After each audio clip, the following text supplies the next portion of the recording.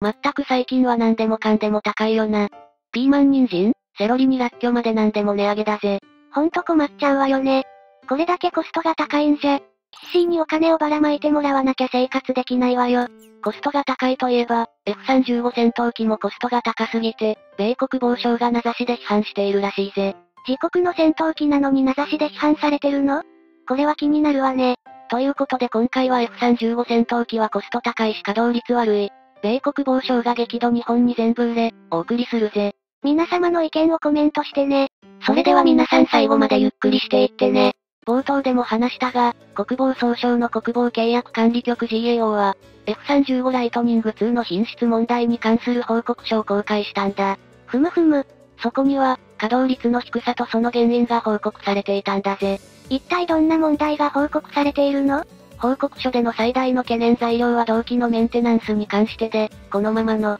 状態を続けると、F35 の即応性に悪影響を及ぼすとしているんだな。2023年3月の時点でアメリカ軍における F35 の稼働率は約55%、計画目標を大きく下回っていると指摘。その一因として、ステルス機のためデリケートな部分が多い動機を軍内で、整備修理できず、先端技術を扱う業者に依存していることが多いためと述べているぜ。なるほど、ステルス戦闘機は整備や修理が大変なんだね。そうした問題を改善するために、アメリカ軍は同機の修理が可能な、軍施設の建設も進めているものの、それも遅れているようなんだな。また、現在 F35 の修理を担当している業者からの技術移管に関しても、まだ具体的な計画はまとまっていないとのことだぜ。結局何も決まってないようなものじゃないか。どうしたアメリカ？しかもな、同期に関しては、維持管理コストの増大も懸念材料なんだぜ。アメリカ軍は、今後数十年間で約1兆7000億ドル約260兆円を費やし2500機近い、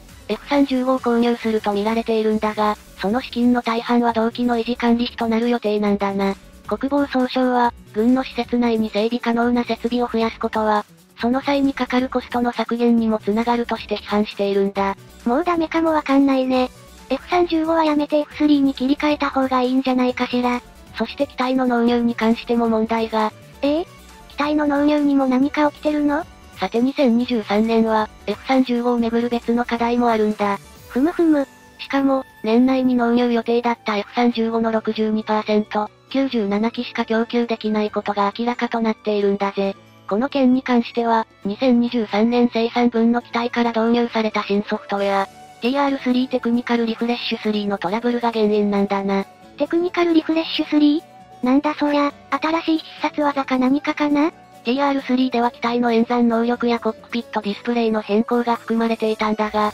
新しいシステムに改良が必要であることが判明し、アメリカ国防総省は2023年6月13日、TR3 を搭載した F35 の納入を一時停止すると製造元のロッキード・マーチンに通達しているんだ。そもそもブロック4ブロック4の能力を強化する最新ハードウェア、TR3 テクニカルリフレッシュ3は初めて搭載されたばかりで、この TR3 には、より高い演算能力を持つ新しい統合コアプロセッサ、パノラミックコックピットディスプレイ、強化されたメモリユニットが含まれているんだぜ。なんか知らんがすごいんだね。また、ロッキード・マーチンは年内での解決を目指していたんだが、結局、TR3 の納入は2024年まで延期されることになり、2024年4から6月の間に最初の納入を開始する方針に切り替えることとなっているぞ。しゃあない、切り替えていけ。そして機体の納入に関しても問題が。え？まだ問題があるの？もうお腹いっぱいだよ。アジアには F35 を導入している国が日本以外にもあるだろまさか、あのキムチたちのことじゃないわよね。まあ、米政府は9月13日、警国へのステルス戦闘機 F35 の売却を承認し、米議会に通知したようなんだな。その後、警国に対して最大25機を売却するとのことだ。やっぱりキムチのことだったわね。警国には F35 なんて必要ないし、払うだけのお金もないでしょうに。米政府によると、F35 と関連装備の費用は約50億6000万ドル約7400億円とのことだ。ははは、到底警国には払えないね。悪いけど日本はお金も信用もあるからさ、国産の KF21 とかいう変な戦闘機で頑張ってちょうだいよわら。日本にはばらまきコンタクトレンズという、お金をばらまいてくれるイケメンがいるのよ。それ国民の税金だからな。しかもイケメンじゃないし。それにな、KF-21 は変な戦闘機じゃないぞ。第4.5世代戦闘機という、れっきとした化石戦闘機だ。作る前から化石とか、話を戻すが、米国防総省参加の国防安全保障協力局は声明で警告の運用可能な、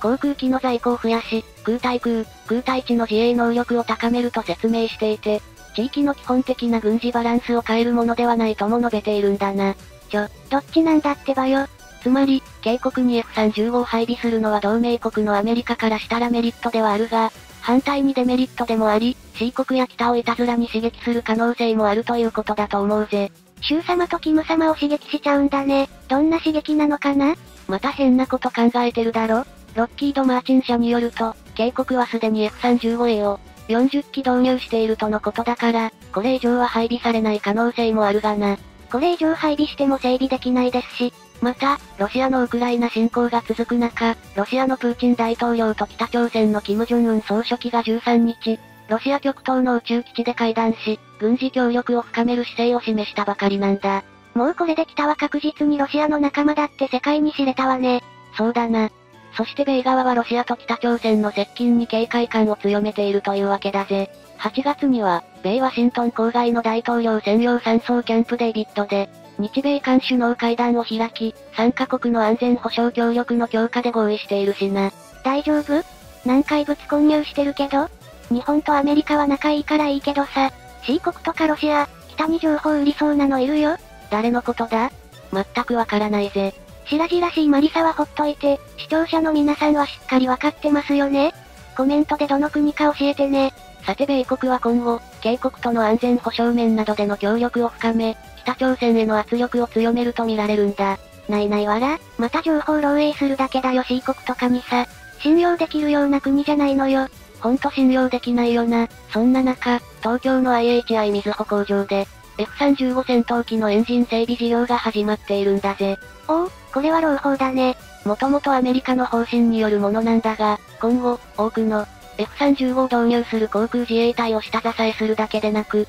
国内航空産業にもたらす恩恵は結構大きそうだぜ。日本は技術力があっても売り込みというか、宣伝が下手だからね。奥ゆかしいというか、恥ずかしがり屋というか、ヤンデレというか、ヤンデレは関係ないだろ。防衛省と IHI は2023年6月29日、東京都水穂町に所在する IHI 水穂工場が、F35 戦闘機に搭載される F135 ターボファンエンジンの整備拠点リージョナルデポとして、同月30日以降、同エンジンの整備事業を開始すると発表しているんだ。そんな F35 は当初から、アメリカ以外の国でも多数の採用が見込まれていた戦闘機でもあり、このため開発を主導したアメリカは、イタリアのカーメリと日本の愛知県小牧市に機体の FACO ファイナルアセンブリーチェックアウト施設をそれぞれ設置。各企業が製造した部品やコンポーネントを使用して、最終組み立てと検査を行っているんだぜ。日本には愛知県の小牧市に FACO があるんだね。渓谷にもあるのかな？もちろんないぞ。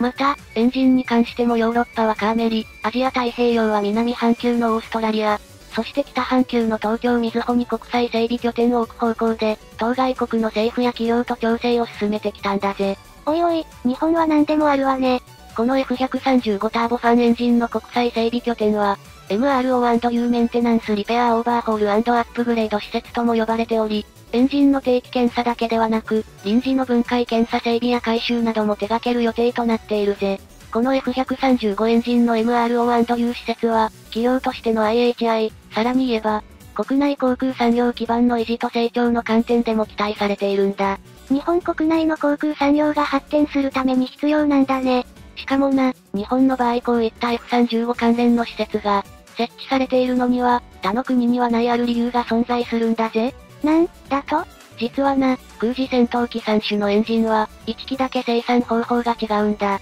ふむふむ。というのも、航空自衛隊は2023年7月の時点で、F35A、F15JDJ、F2AB という3種類の戦闘機を運用しているんだが、それぞれのエンジンは日本の関与の度合いが多少異なっているからなんだな。え？そうなの？?F15JDJ の大部分の機体に搭載されている、F100IHI100 ターボファンエンジンは、アメリカのエンジンメーカーのプラットホイットに、F2 に搭載されている、IHI GEF110IHI129 ターボファンエンジンは、同じく、アメリカのエンジンメーカーであるゼネラルエレクトリックにライセンス料を支払って、IHI で国産かライセンス生産されたものなんだ。しかし、航空自衛隊向けの F35A に搭載される F135 ターボファンエンジンは、プラットホイットニーから下請けの形で、海外メーカーが製造した部品を、使用する最終組み立てノックダウン生産と試運転などを行っているのみなんだな。ノックダウン簡単に言えば、ライセンス生産に比べて、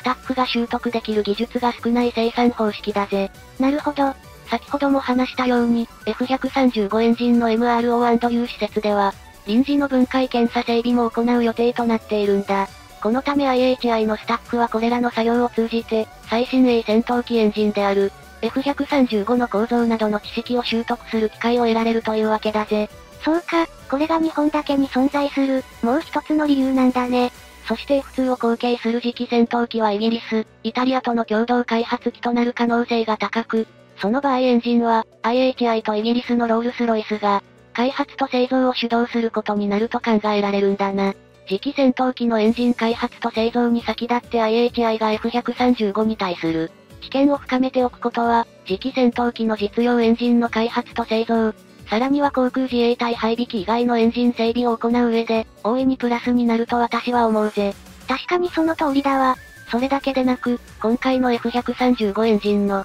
MRO&U 事業は、その将来的な規模からしても、IHI に少なからぬ経済的な利益をもたらすわけだ。先に挙げた航空自衛隊の戦闘機3種のうち F15JDJ は、2022年3月31日の時点で200機保有しているんだが、このうちおおむね1981昭和56年から1984昭和59年に生産された、プレイム SIP と呼ばれる、JMSIP 回収を施していない F15JDJ は2018年に、F35A と F35 の STOVL 短距離離陸垂直着陸型である F35B 最大42機、合計105機で更新されることが決まっているんだぜ。なんか、すごい数ね。これじゃ日本が F35 大国になっちゃいそうだわ。いや別にいいんだけども、F35 大国どころか F35 王国になりそうな勢いだぜ。日本は黄金の国ジパングから、F35 の国キングダムになるのね。さらに、2011年12月に F4EJ 界の後継機として選定された42機を含めれば、航空自衛隊はアメリカ空軍以外では最大となる、100機以上の F35A を運用することになるんだ。さらにさらに、アメリカ空軍は将来的に嘉手納基地と三沢基地に F35A の配備を計画しており、これらに、搭載される F135 ターボファンエンジンの MRO&U も、IHI が行うこととなっているんだぜ。なんだ日本の完全勝利じゃないの。警告涙目どころか、相手にさえならないわね。ほんとだな。日米両国だけで150機を超える F135 エンジンの、MRO&U 事業となるわけで、警告では相手にならないぜ。そもそもアメリカ以外で F35A を導入している近隣の準同盟国といえば、警告なんだな。だが、42機の F35A を導入した警告は、反日艦上から F135 ターボファンエンジンの MRO&U をオーストラリアで行う意向を示していて、ユン・ソンによる政権は日本との関係改善を進めているんだぜ。いやいや、仲良くしたいと思ってませんから。どうぞお帰りくだし。そして、警告空軍の F35A に搭載される F135 ターボファンエンジンの MRO&U 事業を IHI が手掛ける可能性も皆無ではないと私は思っているぜ。あり得る、あり得るわね。F135 ターボファンエンジンの MRO&U 事業は IHI が過去に行ってきた。アメリカ製戦闘機エンジンのライセンス生産に比べて地味な印象を受けるが、事業範囲が航空自衛隊機に限定されないという点において、IHI、さらに言えば、国内航空産業基盤の維持と成長に大いに寄与するものだからな。つまり、日本大勝利速報ってことで OK? まだまだ油断はできないが、少なくとも現時点で日本が F35 大国になるのは間違いないと思うぜ。これからも自衛隊から目が離せないぜ。本日のお話はここまでだぜ。よかったら、チャンネル登録高評価お願いしますね。それでは皆さんまた次の動画でお会いしましょう。